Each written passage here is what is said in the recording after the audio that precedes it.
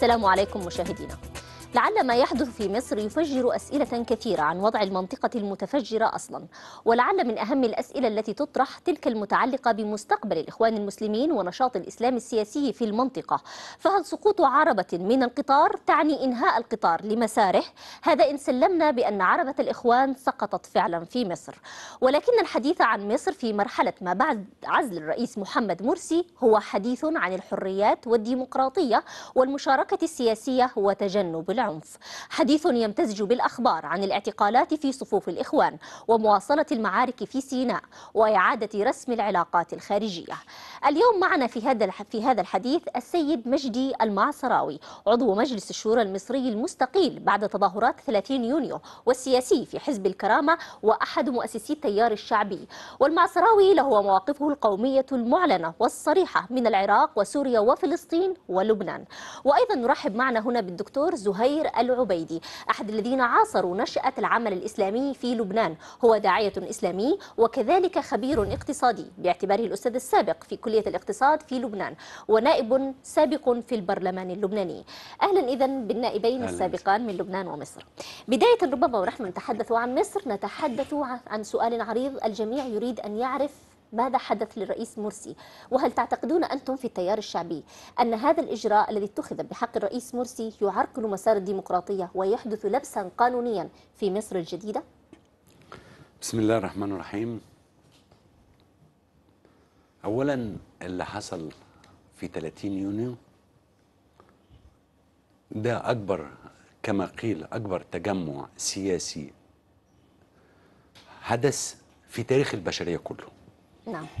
ده ال- ال- الغرب كما شافوا اللي هو معظمه أنتي ال- ال- اللي حصل في مصر و آه، اللي حدث إن شعب كان هناك زي أي شعب في الدنيا عقد ما بينه وما بين رئيس منتخب ونعتبر انتخاباته شرعية وكنا من المساندين له.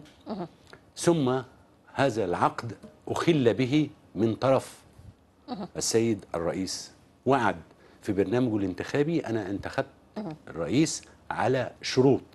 قال في برنامجه أنا يا شعب قادر على حل مشكلاتك ببساطة الأمر وبدون تعقيد. أنا عندي واحد اتنين تلاتة هحل لكم الأمور الآتية. في 100 يوم هحل لكم نعم. خمس مشاكل رئيسية. ولم و وعدى ال 100 يوم وال 200 يوم وال 300 يوم وال 360 يوم وما حلش حاجة. يا ريت كده.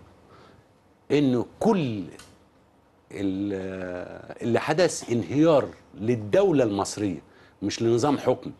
كل يوم مصر بتتأخر على جميع الأصعدة على مستوى أزمات بتتفاقم عدم كفاءة في إدارة أمور دولة بحجم مصر. مصر مش دولة صغيرة مصر دولة كبيرة مفترض إن لها دور ومكانة بتقوم بيه عبر التاريخ. إذا هل الرئيس مرسي الآن معتقل بهذه التهمة؟ لا مش معتقد بقى هو هو لو لو اعتقل بتهم فهو بتهمة عدم الكفاءة وعدم القدرة على الوفاء بالالتزامات بس هو ليس معتقلا على الإطلاق. الرئيس كما صرح إن هو في مكان آمن بعيد تأمينا له لا يتواصل مع أحد لا يتصل بأحد لا يزوره أحد. لا أنا ما عنديش فكرة لا أنت ولا أنا ولا أي حد يدعي إن هو بيقدر يعمل ده ولا ما يعملوش. إنما هو كل الحكاية إن هو قيل إن هو متحفظ عليه في مكان آمن. ويليق السابق. و- ويتعامل ويعامل بما يليق برئيس دولة سابق. اليوم يعني الدكتور حسن نافعة يقول اطلقوا سراحه أو حاكموه وأن ما يحدث هو لبس قانوني يؤثر على مصر.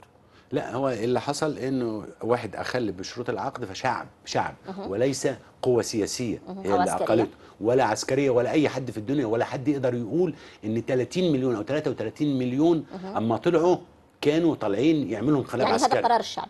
ده قرار شعبي استجاب له حسب نص الدستور اللي وضعه الإخوان ومن والاه. بمعنى؟ اللي هو بمعنى إن ما يحدث الآن هو دستوري؟ قانوني للرئيس مرسي؟ دستوري وقانوني لأن في نص الدستور دور الجيش المصري هو حماية الأمن القومي ولو لم يتدخل. آه الجيش المصري وقام بدوره كما هو منصوص عليه في الدستور لكانت هناك حرب أهلية ومذابح. يعني يعني التحفظ أنت على الرئيس إن مرسي 33 مليون قاموا على جماعة هو تفر الرقم أنا أتحف... أتحدث آه. الآن عن التحفظ. التحفظ على الرئيس مرسي الآن هو بحسب النص الدستور المصري هو قانوني لأنه يقي من أي عنف يمكن أن يحدث. ده صحيح. طيب اذا يقول الآن الاستاذ مجدي المعسراوي أن ما يحدث أو ما حدث من تظاهرات وهي فعلا بشهادة الجميع هي من أكبر التظاهرات التي حدثت ليس فقط في أيام الربيع العربي والثورات بل ربما في تاريخ العالم العربي والعالم. اذا ربما أن نسأل خلال عام واحد فقط من حكم الإخوان يخرج هذا الش- الشعب بهذا الطريقة الجارفة ويعلنون رفضهم للإخوان؟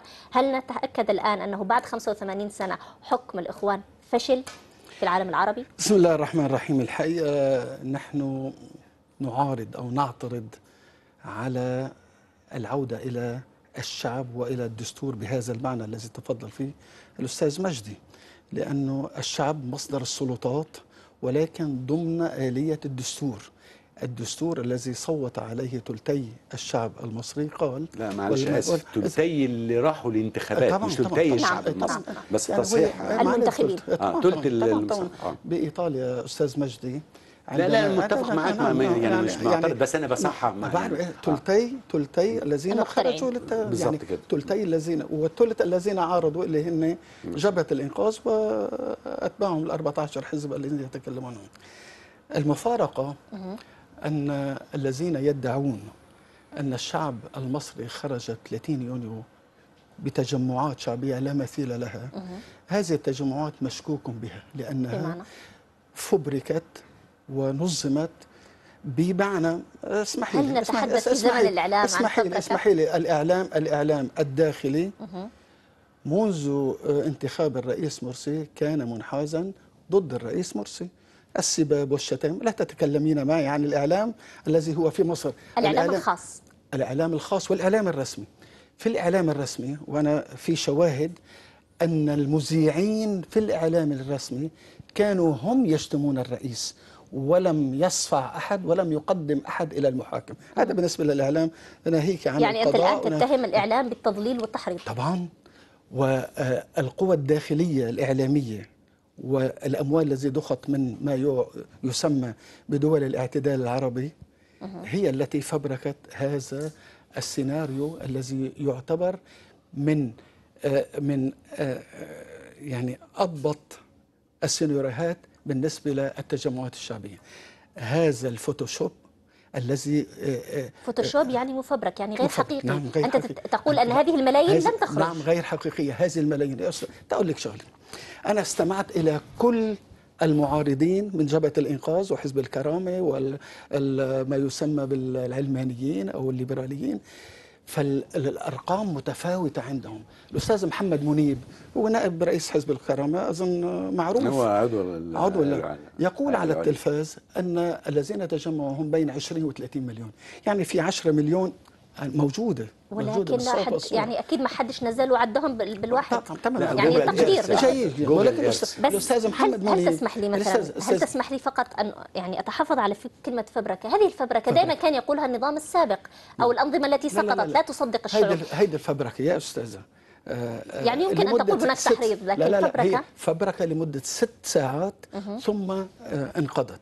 طيب. والذين تجمعوا تجمعوا الأستاذ آه، آه، خالد داوود آه، خالد في يوسف. مقابله آه. خالد داوود رئيس المسؤول الإعلامي في جبهة الإنقاذ منذ أسبوع كان معي على البلاتو على- من من القاهرة قال بأن الذين تجمعوا تجمعوا بأكثر من 34 مليون طيب اذا إذا أنا تحد- أنا عقلي ك ك آه، إذا تحدثنا عن الأرقام. رياضي من الرياضيات والاقتصاد كذا. سأحدثك بالرياضيات والاقتصاد.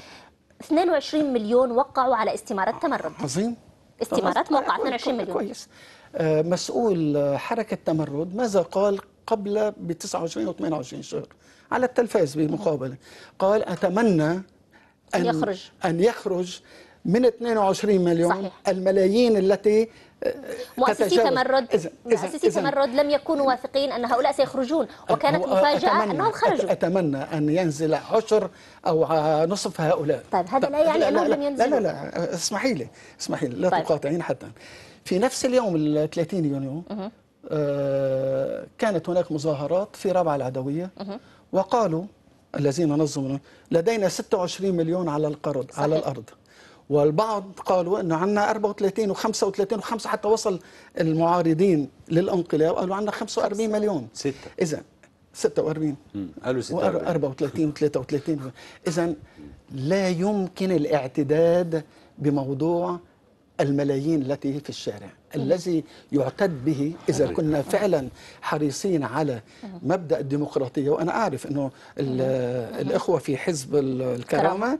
كانوا دائما في لقاءاتنا القومية والإسلامية إسلامية. كانوا يصرون على مبدأ الديمقراطية والشورى والتعددية واحترام حقوق الإنسان. إذا أنت تلمح للانتخابات وتقول أن العددية الحقيقية كانت في صندوق في صندوق الاقتراع. أما ما يقال وقاله نص بيان الانقلاب أنني استجبت للإرادة الشعبية هذا باعتبار برأيي كذب وافتراء على الإرادة الشعبية. الإرادة الشعبية لا تتحقق إلا في صندوق الاقتراع. إذا أردنا أن نكون ديمقراطيين أما إذا أردنا أن نكون ديكتاتوريين واستبداديين فنذهب إلى ما يسمى الشرعية الثورية. وأنا هنا آه، آه، أريد أن أسأل الأستاذ مجدي. صدر كلام كثير عن الشرعية الثورية. ما هي الشرعية الثورية؟ طبعا درسنا في الاقتصاد النظام الشرعي الثوري هو النظام اليساري الشيوعي ال- ال- اللينيني الماركسي التروتسكي الذي كان يقود الثورات في آه، ولكن هذا هذه الشرعية خرجت يوم 25 يناير وشارك فيها الإخوان. 25 يناير. آه. 25 اذا كان الشعب كله ضد الرئيس المخلوع. وكانت شرعية ثورية. وليس ول- لا ليس ثورية. كانت ضد نظام الاستبداد وتطالب بثلاث أمور الحرية والكرامية وتعدد وتداول العدالة السلطة. الاجتماعية. العدالة الاجتماعية. أستاذ مجدي ربما سنة واحدة لم تكن تكفي لتقييم حكم الإخوان. سنة واحدة لم تكن تعني أن يخرج ال- يعني الناس بهذه الطريقة. وأيضا سنة واحدة كانت لا تكفي لإعادة الشارع للشرعية الثورية. هل استعجلتم في الحكم على الإخوان؟ لا والله إحنا صبرنا كتير. مش استعجلنا. بس أنا قبل ما أرد على حضرتك ده عايز بس يعني بعض المفاهيم نشرحها سوا يعني ون- ونتفهمها سوا يعني على مسألة الديمقراطية والشرعية بالذات يعني الشرعية الديمقراطية. مين قال إن الشرعية الديمقراطية هي شرعية الصندوق بس؟ في حاجة اسمها شرعية الاستمرار. أنا عامل معاكي عقد إن إن أنا أجي أشتغل عندك أجير بدرجة رئيس جمهورية أو بدرجة أي درجة. إن أنا أعمل لك عملية جراحية أو إن أنا أبني لك عمارة. ما الذي خالفه مرسي في هذا العقد؟ من أوله إلى آخره. لم يحقق شيء إلا الفرقة والتدهور الاقتصادي والمعيشي لكل الناس وفقد مصر هيبتها. كانت ثقيلة. التركة التي ورثها عن نظام مبارك ما هي بقى طالما هو مش قدها جاي لها ليه؟ هي لعب عيال إحنا بنلعب في, في, في الشارع أو قاعدين ع- في عزومة والله ما أنا واكل يعني بعد يقول له كل اتفضل كل يقول لي لا والله ما أنا واكل مش دي عزومة. ده مصير أمة ومصير 90 مليون. إنه يجي يقول يتصدى لمسؤولية هو مش قدها لا هو ولا حزبه المنعدم الكفاءة. يعني حزب منعدم الكفاءة في إدارة دولة بحجم مصر. مرضاش رفض إنه يشارك أطراف العملية السياسية داخل مصر في حتى وضع الدستور. إذا بتكلم بمنطق الأغلبية بمنطق جميل. الأغلبية وقلنا إن الدستور بيتعمل في كل دول العالم بمنطق التوافق وليس بالأغلبية. نريد أن نوضح هذه النقطة. الآن هناك في حاجة اسمها شرعية الاستمرار وفي حاجة اسمها شرعية الصندوق. جميل. إذا الآن تتوضح نقطتين. إذا هناك الآن مسألتين ربما تجعل, تجعل تجعلكم تعترضون على حكم الرئيس مرسي. أولهما أنه لم يوفي بالتعهدات ثانيا مسألة الإقصاء وأيضا التفرد بالسلطة ومنها مثلا الإعلان الدستوري الذي سميتوه أنه كان ديكتاتوري وأعطى سلطات مطلقة للرئيس. هل كان هذا السبب أيضا لسقوط حكم الإخوان من وجهة نظركم؟ من أول ما أعلن الإعلان الدستوري اللي اللي اله فيه نفسه أعطى لنفسه سلطات يعني تكاد تكون تصل إلى سلطات إنه لا يسأل عما يفعل. لا- لا- لا- لا مراجعة ودي من لقرارات الرئيس. الله سبحانه وتعالى. يعني الوحيد واصطدم بكل اصطدم بالجيش واصطدم بالشرطة واصطدم بالقضاء واصطدم بالإعلام واصطدم بالناس. يعني ما فيش ما خلاش طائفة في المجتمع إلا ما اصطدم بيها. وكان عندنا طيب. أزمات في البنزين وأزمات في السولار في أكل عيش الناس في الوظائف في التصنيع. تصنيف مصر الائتماني. أهدر الاحتياطي ال- النقدي لمصر من أول ما مسك لغاية النهارده. يعني ما, ما ربما- تعملش مشروع. واحد ربما هو جه. من أنا عايز- في المعارضة أنها لم تمسك في لا ده في نقطة ده في نقطة واحدة بسيطة جدا وأنا أتحدى أي حد من الإخوان. أنا جاي الإخوان سموا نفسهم الإخوان المسلمون. ده صحيح؟ بي- جايين عشان يطبقوا شرع الله. صحيح. ماشي؟ أنا طوال سنة بقى وأنا كنت عضو في مجلس الشورى أقول لك الاتي أتحدى أي واحد في يجيب لي خطوة واحدة خطوة واحدة على الطريق لتطبيق الشريعة الإسلامية. أنا مجد المعصره وعضو حزب الكرامة وقلت الكلام ده في كل القنوات التلفزيون نحن في حزب الكرامة نطالب بتطبيق الشريعة الإسلامية وفورا. هم بقى عملوا إيه؟ ما طبقوش الشريعة الإسلامية خالفوا الشريعة الإسلامية. أقول لك رخص الخمور في مصر كانت تعطى سنويا الوقت بتعطى كل ثلاث سنوات. ده مثال. مش بقى مع الخ... مع ال... يعني م- مدة أكبر قصدك؟ آخر آخر نقاش في مجلس الشورى المصري كان عن الزواج كان عن الزواج ميزانية لا ميزانية الدولة. ده بت- بتصدر بقانون. وقف الدكتور فريد واصل وهو مفتي الجمهورية السابق قال لهم من فضلكم شيلوا كلمة فوائد لأنها ضد الشريعة الإسلامية. وده من يخالف الشريعة. الدكتور أحمد فهمي رئيس المجلس قال الوزير سيادة الوزير يرد وزير المالية قال له إحنا موقعين على اتفاقات دولية تمنع إن إحنا نغير المصطلحات وهنراعي ذلك مستقبلا. وأنا قلت للدكتور أحمد فهمي قلت له لو محامي مبتدئ رفع قضية قدام المحكمة الدستورية يكسبها.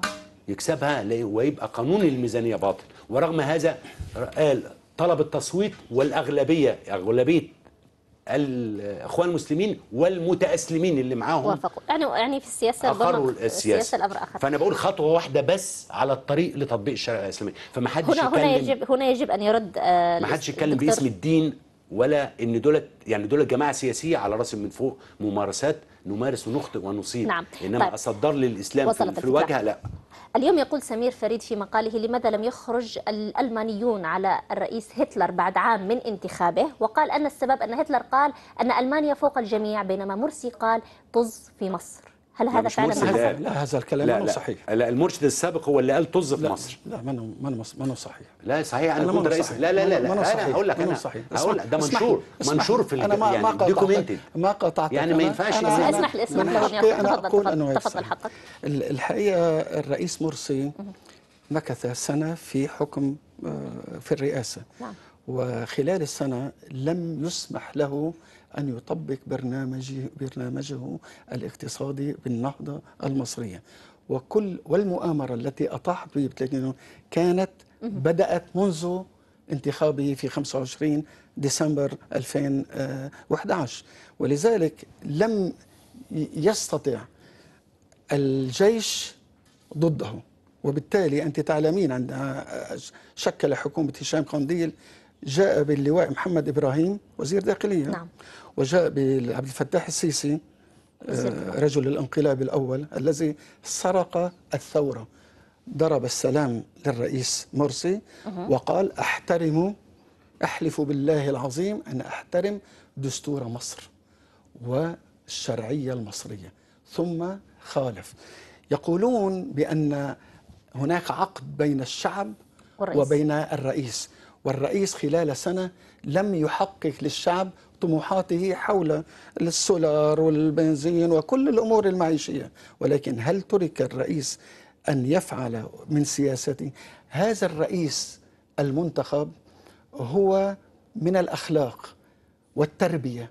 أن التلفزيونات والإعلام يهاجمونه ويشتمونه ليل نهار ورفع ولم قضايا. ولم يو- يوق- يوقف أحد ولم يدعي على أحد ما عدا هذا يوسف باسم يوسف. نعم.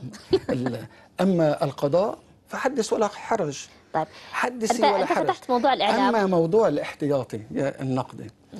أستاذ آه، طبعا بالإحصاءات وبالأرقام الرئيس مرسي الرئيس المخلوع مبارك استلم من أنور السادات نقدا بالعملة الأجنبية 36 مليار. سلمها لمرسي 14 مليار. لم تنزل نعم نعم نعم. 14 مليار. هذا ال- ال- مين مين اللي الإحصاءات سلم من مين؟ مرسي استلم 14 مليار. مرسي استلم من مبارك نقدا اجنبيا. اولا مرسي ما استلمش من مش مبارك استلم لكن من مين؟ استلم من المجلس العسكري. من المجلس يعني من, من الدولة النظام من. الدولة النظام آه يعني يعني المجلس- مش مبارك يعني مبارك ساب 34 مليار وأنا مش بدأ في مقام الدفاع عن مبارك طيب. يعني بس مبارك ساب فيه احتياطي و- و- 34 الان طيب، اسمح لي. 34 الآن- مليار. الان الآن سؤال آه هذا الدفع الكبير في المساعدات مما يسمى دول سنتحدث عن المساعدات سنتحدث عنها بريء؟ بإسهاب هل بريء يكفيه الرئيس مرسي أنه وقف في وجه أمريكا سنتحدث عن المساعدات. نعم. سأتحدث في, عن- في نقطتين دكتور في زهير. الحرب الأخيرة في غزة. أيام في غزة وقال لأوباما لن نوقف القتال إلا أن تطلب إسرائيل وقف القتال وإسرائيل وقفت آه، سنفتح بعد الفاصل القتال. ملف الإعلام وسأفتح ملف المساعدات سواء القطرية أو السعودية بعد الفاصل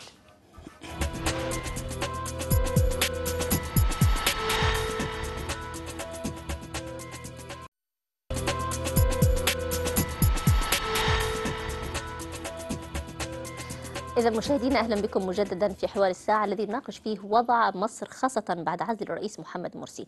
قبل الفاصل كان يتحدث الأستاذ الدكتور زهير عن وضع الإخوان وقال أن الإخوان استطاعوا ويكفيهم فخرا أنه وقفوا أمام أمريكا وإسرائيل ورفضوا الدعم الخارجي. هنا ربما علي أن أعود وأسأل عن دور قطر وقتها عندما كان الرئيس مرسي رئيسا لمصر. كانت قطر تعد بدفع المليارات وتقريبا كان هناك تخوف من الدعم القطري السخي على مصر بأن يكون هناك يعني انتقاص في السيادة المصرية؟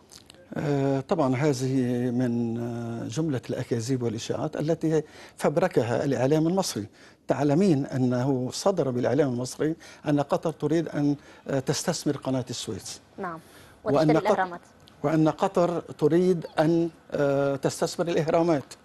وقطر تريد أن تستثمر أو تشتري حلايب. طيب. إذا لماذا كانت المنطقة- إذا قطر تدفع؟ قطر دفعت كما قالت للشعب للشعب المصري وليس لحكومة الرئيس ولماذا محمد الآن مرسي. لم تدفع؟ لم تدفع لأنها دفعت في السابق كانت السباقة في الدفع أما دول الاعتدال. العربي فهي ائتمرت بالراعي الأمريكي والكيان الصهيوني الذي نفذ الانقلاب مع عبد الفتاح السيسي أنا أقول بكل صراحة هذا خائن لبلده ويجب أن يعلق على المشانق عبد الفتاح السيسي. هذا خائن هذا لوطنه هذا هذا قد يعتبر الآن تحريض هذا الآن لا تتهمه. الآن أنا أنت أتهمه تتهم أنا- الإعلام بالتحريض نعم. ويمكن نعم. أن أنا تمارس هذا الدور الآن أنا عندي اولا هبدأ من الآخر يعني بطل مصر القومي الآن هو عبد الفتاح السيسي هذا- الرجل أنا يعني يعني رد على كلام رد. الدكتور زهير مع احترامي الكامل هل يعني. هذا أنكم يمكن أن تطالبوا منه أن يستقيل وأن يتقدم كمرشح والله للرئاسة؟ لو أنا شخصيا لو هو ترشح في الانتخابات أنا هنتخبه يعني أنتم تخرجون وأنا من حكم فخور الدولة بأن أنا مصري وأن هذا الرجل في. عباءة حكم الدولة العسكرية؟ الدولة إطلاق- المدنية، مش إطلاق- الدينية. إطلاق إطلاق. ولا هو عايز ده ولا هو هيترشح. ولا كلام من ده. ولكن التسليم بحكم العسكر. ولا العسكر ما بيحكموش. طيب العسكر سأسألك أسئلة محددة. تفضل. ما يحدث الآن من قبض واعتقالات في صفوف الإخوان؟ مداهمة الإعلاميين وهذه القنوات ما رأيكم أنتم كمدافعين عن الحريات والليبرالية والديمقراطية؟ هل أنتم موافقين على ما يحدث؟ أليس هذا التأمين اولا ليس؟ هناك اعتقالات للإخوان. اطلاقا. إطلاقاً. وهذه أكذوبة. كل من والإعلاميين والقنوات التي أقفلت؟ لا دي ده موضوع تاني. آه هنتكلم في ده ونتكلم في ده بس أنا بتكلم على قيادات الإخوان كل يوم. هناك اعتقالات في صفوف. شباب الإخوان لا لا اطلاقا. لم إعلامي. يحدث. كان لو لو كان بيحصل ده ما كنتش لقيت الرابعه العدوية. الرابعه العدوية آه موجودة وميدان النهضة وكل يوم والتاني إذن أنت بيتم التحريض من على منصة في الرابعة العدوية من البلتاج وصفوة حجازي ومن والشاطر والمرشد نفسه. حسن ال- الشاطر. آه. مش آه. آه، خيرت الشاطر حسن الشاطر اللي طلع ابنه لا خيرت آه، خيرت الشاطر كان معتقل اعتقل لا اعتقل آه الانتهاء. اعتقل كل من إيه إيه؟ والمرشد نفسه طلع طلع- طلع. آه طلع محمد بديع طب يعني ماذا عن الإعلام؟ آه. ماذا عن الإعلام والإعلاميين وقفل القنوات؟ أنا أنا شخصيا ضد قفل أي قناة بس كل من يتجاوز كل من يتجاوز دي قنوات يعني لما يتقال فيها كلام يعني لا يصح إن أنا أكرره. ولا ولا أقوله يعني. أنا أفهم من الدين القنوات المسماة قناة دينية. الحافظ 25 ويعني كثير والناس. كثير جدا. أنا على قناة الحافظ ويمكن الرجوع للكلام ده موثق. أنا مرة بقلب على قناة 25 وأنا طلعت على قناة ال 25 بالمناسبة مع صبحي صالح. لما كنا في المجلس على قناة 25 وده موثق. اللي هو بسموه خميس ده المذيع. المذيع ده. قال نحن أقل قناة فسادا. لما يبقى مذيع يقول على نفسه على قناته نحن أقل قناة. ف- فسادا. تقولي عليه ده إيه؟ صادق. أنا قلت له صادق مع نفسه. طيب إذا- معنا يعني هم عندهم فساد؟ عنده فساد طبعا. كل من ليس عنده لا فساد؟ ده ملوش دعوة بالإعلام. الخطيئة ده ملوش دعوة بالإعلام. ده لا، عدم لا، لا. كفاءة. يعني هل تم القبض عليهم بتهمة الفساد؟ لا لا لا. اللي اللي اللي كل من في قضايا تخابر يعني موجهة ال- الأب قضايا تخابر. طبعا. هذه خيانة كبرى. طبعا. خيانة عظمى. كمان. خيانة عظمى كمان. تصل إلى الإعدام نعم. وكل من حرض من على المنصة وطالب بالتدخل العسكري الأجنبي على مصر ده لازم يقدم للمحكمة بتهمة الخيانة العظمى بما فيهم المرشد بما فيهم من قال هذا هذا الإقصاء كل وهذه لا، مش إقصاء. في لا، لا، لا، لا، لا، يمكن لا، أن لا، تساهم لا. في تفجير الوضع؟ لا لا لا أستاذ خ- مجدي. نحن نتحدث عن وضع خطير في مصر ولا وضع خطير ولا حاجة أنا هناك شعب وهناك جماعة تحولت من عصبة إلى عصابة. أنا بقول تحولت من عصبة إلى عصابة. إحنا إيدينا طول الوقت قاعدين بنتكلم على مشروع بناء دولة. وإيدينا م- م- ممدودة وطول عمرنا كنا من أوائل الناس اللي بيدافعوا عن الإخوان المسلمين. والت- والتاريخ يشهد بده. إحنا من أوائل بطوال 30 40 سنة وإحنا بندافع عن الإخوان وعن حقهم في تكوين تنظيم خاص بيهم ومع الحريات ومع ضد الاعتقالات ومعروف ان كانت حمدين بتتم. صباحي كان له تحالف مع التيار الديني. ده صحيح. 2005 نعم. نعم. على لا لا مش في 2005 نجح نجح وحمدين على صباحي. كان لو لا نجح لا في لا لا لا الانتخابات لا، كمرشح رئاسه كان. سيتحالف مع الإخوان لا المسلمين. 2011 مش بتاعت ال- ال- الأولى أنا كنت من ضمن التحالف ده اسمه التحالف الديمقراطي. ديمقراطي نعم. كان في حوالي 14 حزب.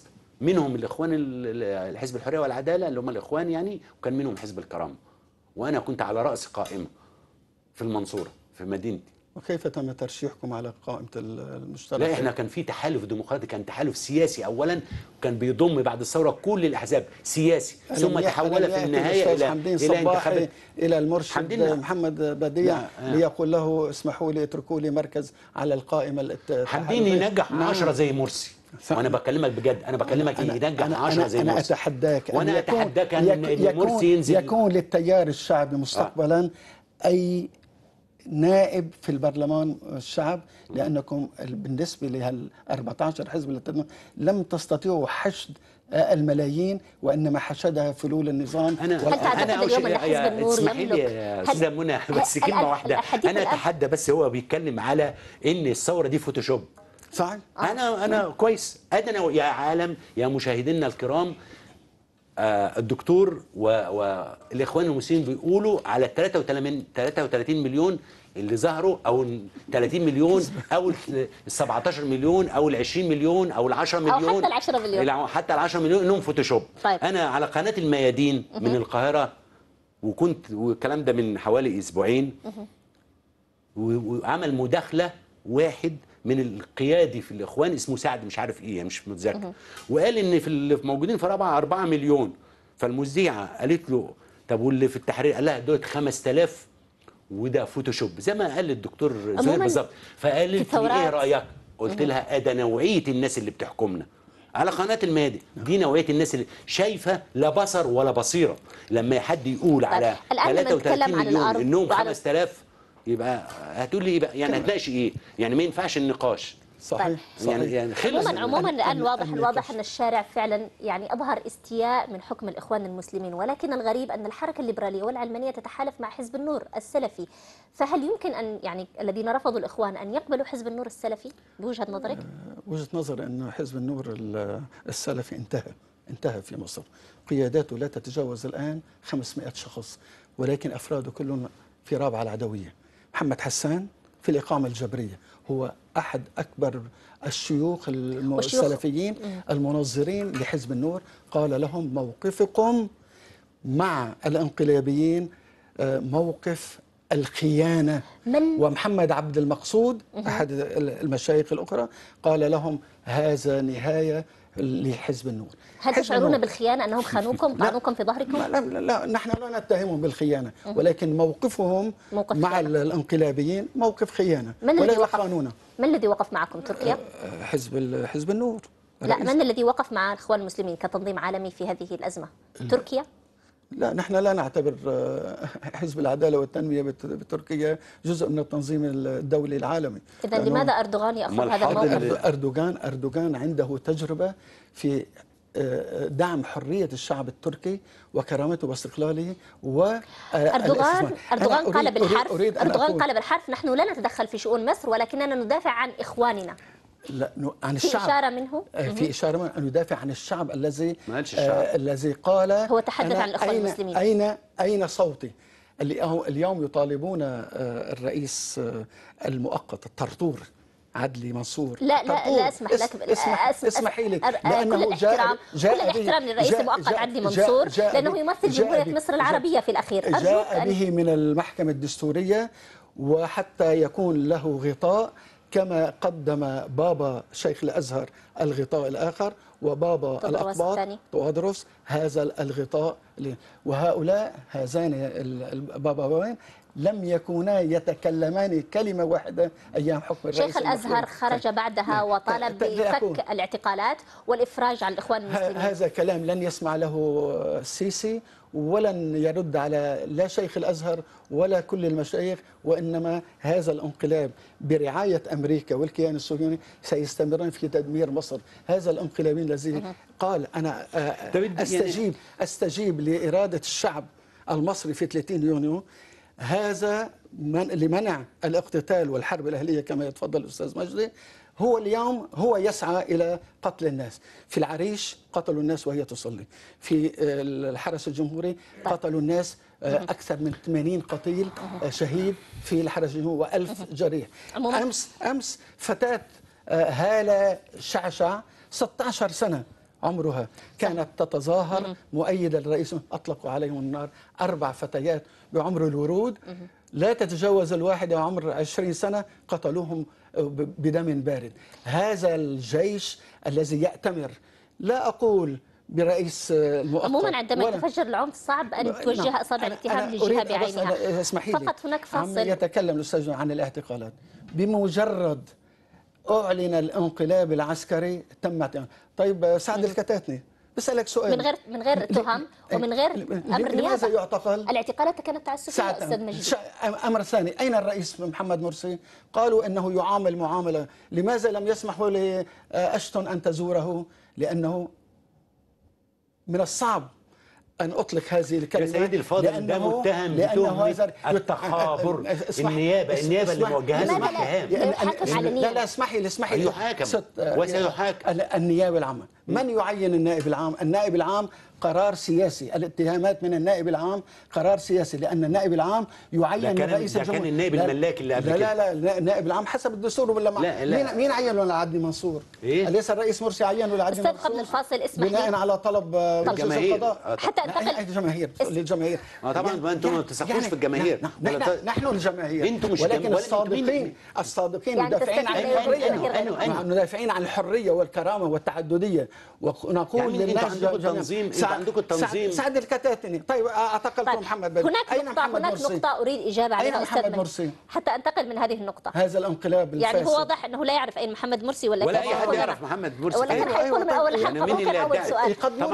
أريد أن أعرف هناك. هناك هناك نقطة يقدمون حتى للمحاكمة مش اسمح لي- هيقدم؟ الآن صاروا آه، مش كم- أنت اللي بتحدد. س- س- 22 يوم مش أنت اللي بتح- مش أنت اللي بتح- وان شاء الله يقعد 22 سنة آه 22 سنة إن شاء الله يقعد هذه 22 سنة. ديمقراطيتكم آه. أنت الاستبداديين. من أيام عبد الناصر؟ أنتوا مش- أنتم أنتم تعلمون أن الحزب الناصري الذي سرق عبد الناصر ثورة 23 يونيو الذي يتكلم عدلي منصور اليوم طبعا عن الثوره 23 ده كانت بدايه الإخوان طبعا أصلا. طبعا طبعا. يعني الإخوان طبعاً. اللي قتلوا دكتور زهير وصل وصلت أنك ال- وصلت هذه أستاذ المسلح. زهير أنك فعلا يعني تطالب بما هو قانوني. إن كانت هناك تهمة يجب أن تظهر للعيان وأن يحاكم. ولكن الآن اسمح لي أن أنتقل للملف الذي المفروض نحن نناقشه الآن. نحن تحدثنا على أن هناك كان دعم قطري ولكني بعد الفاصل أريد أن أعرف هل تحررت مصر من جناح خليجي لترتهن لجناح خليجي آخر؟ وما هو دوركم أنتم في الشقاق الذي حدث بين مصر بين عفوا السعودية وتركيا. بعد الفاصل.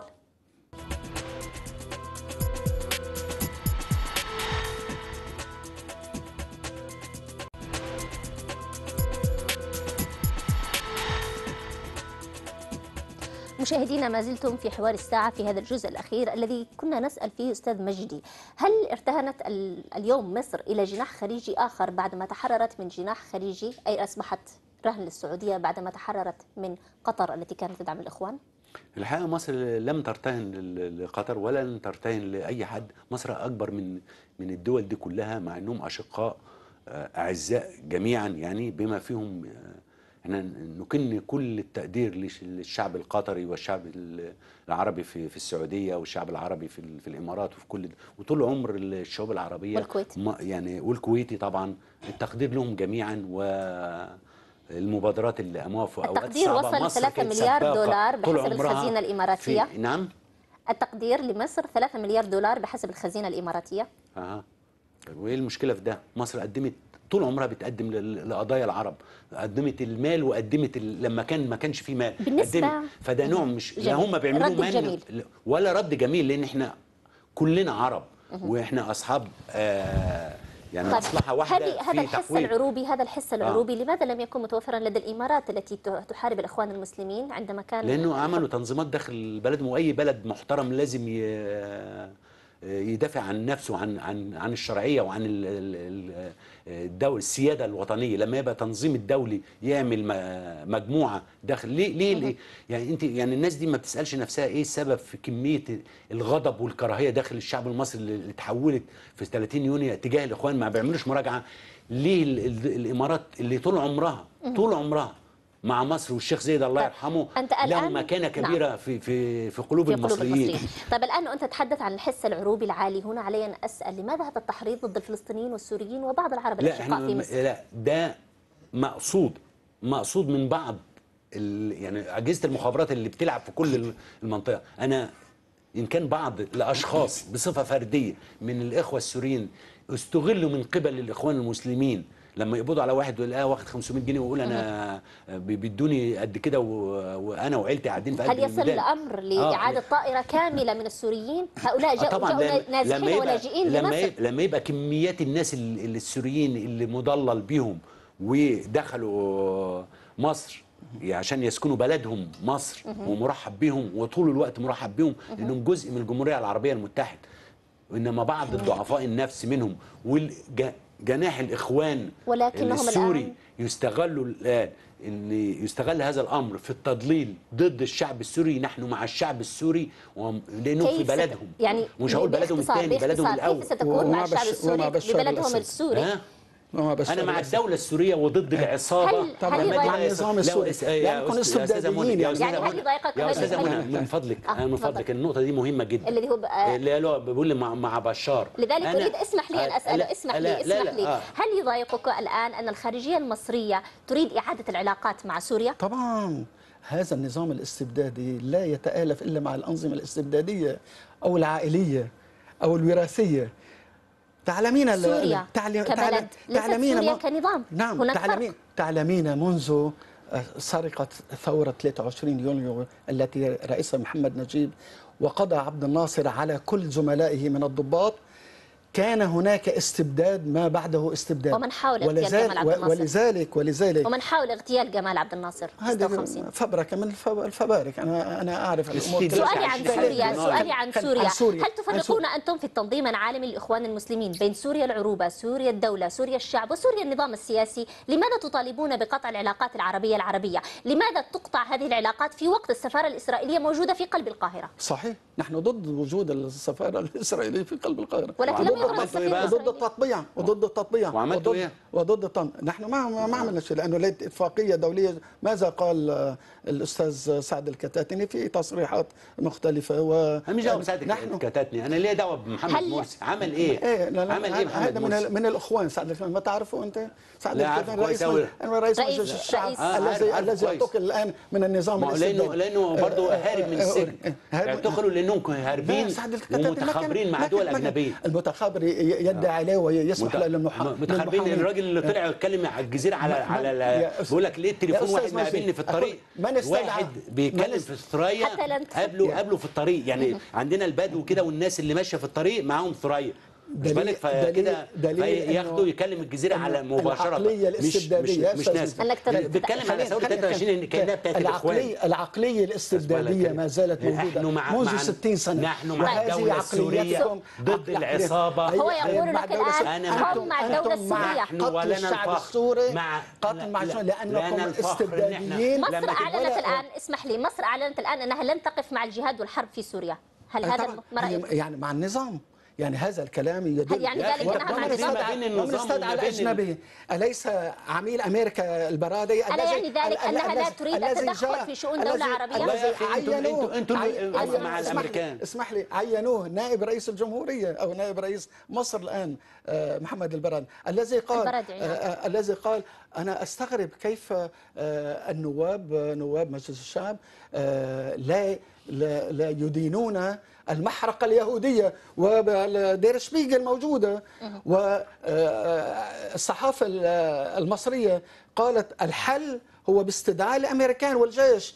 ال- الصحافة يعني كلها مستندات ال- موجودة الإخوان في ال- المسلمين اليوم في ذهبوا في الصحافة. مظاهرة إلى أمام السفارة الأمريكية يطالبونها بالتدخل. من الآن؟ اليوم. لا. خلال بالعكس. 24 ساعة القادمة. من, من, من, من يومين قاموا بمظاهرة ورشقوها بالحجار واليوم رشقوها بالحجار ولم تدخل ال- الموالون الآن تدخلوا عموما كما قلت هناك لمنعهم من الأخبار من في قسم. مصر للأسف هناك تضليل إعلامي تضليل كبير نعم، قبل تضليل ما قبل ما. الوقت بس- ينتهي بس- أنا عايز أقول بس كلمة واحدة على مسألة سوريا لما تفضل. تبقى قطر وإسرائيل وامريكا وأوروبا ودول وتركيا. الخليج وتركيا كل دولت في جنب فوانا مغمض كده لازم آخد الجانب الآخر. وأنا مغمض.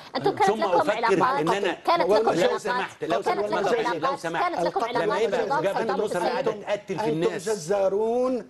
تقتلون الشعب أنتوا السوري. أنتوا طبيعتكم الغدر. والخيانة. ال- ال- الغدر حتى والخيانه أستاذ هذا كلام. مردود عليكم. أنتم- حتى لا يكون هناك اتهامات يعني أنتم حتى تكون الطاولة هي طاولة حوار في الأخير. يعني المشاهد في الأخير هو يعني يعرف تماما الاتهامات التي يمكن أن توجهها إلى البعض. ولكن دعنا نقول الآن أن هناك موقف رسمي من سوريا. مصر الآن تعلن موقف مختلف تماما. هل تحاولون تغيير صورة مصر بالنسبة كل للمنطقة العالم العربية؟ العربي ضد مصر. لابد أن تقوم بدورها الطبيعي. ما هو وهي- الدور الذي يجب أن تقوم به إنها مصر. مصر لازم دورها الطبيعي إنها قائدة لأمتها. ما ينفعش إن إحنا نقطع علاقات مع سوريا. إذا سؤالي ما الذي ستفعله مصر في الأزمة والحرب الدائرة الآن إنها في سوريا؟ تبقى طرف أصيل في في إيجاد حل سلمي للأزمة السورية للحرب الطاحنة والحرب الأهلية الممولة.